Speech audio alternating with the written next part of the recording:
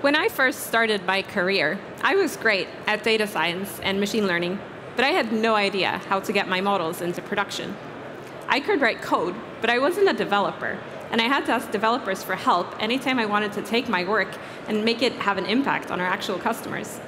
That was incredibly frustrating, and it made me feel incapable, and it also slowed me down. And it turns out I wasn't alone. Lots of people across vastly different professions want to process data as part of their work, and they don't want to wait for software engineers to help them. There are more than 1 billion people using Excel or spreadsheets every month. And that shows there's more than a billion people who are interested in processing data to gain insights or make decisions. And Excel is great, but there's a reason software developers are so highly paid and can produce so much value writing code takes it to another level. It's no coincidence that graphical interfaces for programming have not succeeded.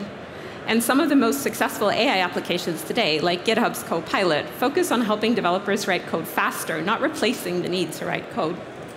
Business logic is just as complex as formal language, and code is the right way to express that. And the thing is, writing code isn't hard, but deploying code is. That's the reason not more people do it. You can think of it as driving a car. Most people can learn how to drive a car, but if you had to also know how to build the engine before you could go anywhere, a lot fewer people would be doing it. Now let me tell you a story about what happens when those barriers to deploying code are taken away. It's from my time at iZettle, a Swedish fintech. Yes, this is an AI-generated image, as you can tell from the extra pair of legs and the weird camel in one of the dashboards. But for the purpose of this talk, let's pretend that this is the risk team at iZettle. This team's job was to identify fraud by filtering out suspicious accounts and sending them off for manual review.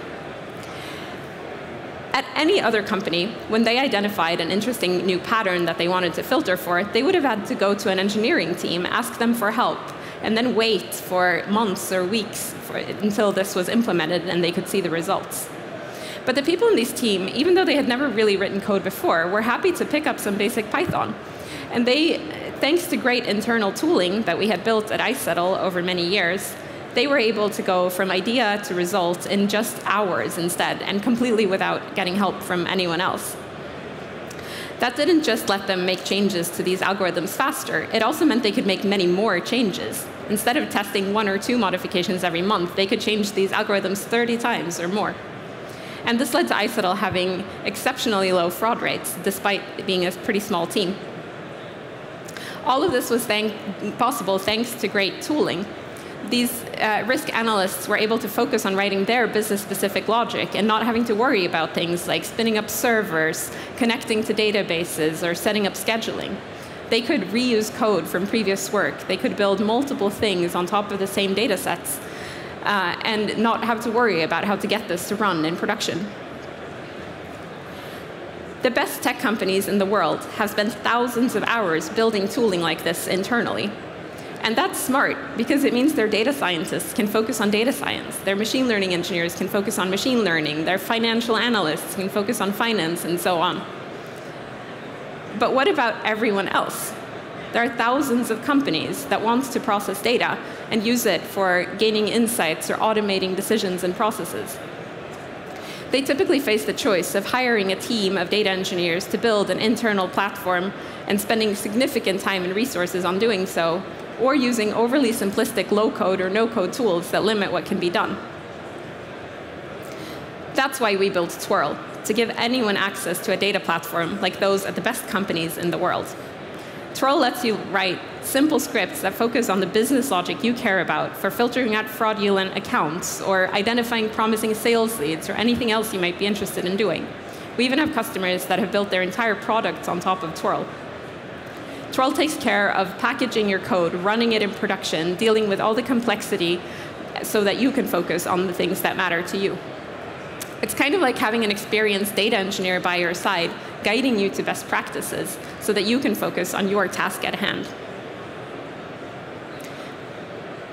In fact, more than 85% of our customers have no data engineers at all. They manage to get by with the help from Twirl. And this is important because it unlocks massive productivity gains. When you can write code yourself instead of having, having to ask someone else to do it, you're so much faster. You can imagine having to explain to someone else how to tie your shoes and then suddenly being able to do it yourself. And it's not just faster. When people become autonomous at solving tasks on their own, that means they can do it much more often and in smaller steps. A good example here is from software engineering, where not so long ago, developers had to go to IT and ask them to provision servers whenever they wanted to set up, spin up new applications. Today, they can do it themselves in the cloud, and that means they're much more likely to build lots of small applications all the time. This is Stephanie Cabrera. She joined Boka Direkt, Sweden's biggest marketplace for hair and beauty appointments, as their first data hire. Her background is in BI and analytics, and she has previously worked at bigger companies that had tooling in place already for working with data. So she knew what she needed, but she quickly realized that she would need help in building it. So her plan was to hire one or two data engineers and spend the next two years building out a data platform internally. With Twirl, she was instead able to get up and running with a complete platform in less than two months. And they now use Twirl to power dashboards, generate insights, interact with their customers based on data triggers, share data with their partners, and even develop entirely new data product lines. Stephanie has been able to have the experience that I wish I had when I started out as a data scientist. She's able to focus on her area of expertise and rely on tooling to handle everything else. It's been fantastic to see our customers get so much value from their data very early on, but what's even more exciting is to see individuals become 10 times more productive than they've ever felt before. There's something magic about watching people who might have been under a little too much pressure to deliver value quickly then end up being regarded as superheroes by their organizations. We're continuously onboarding new customers to our closed beta. So if this sounds interesting to you or if any of this resonated, we'd love to talk. Thank you.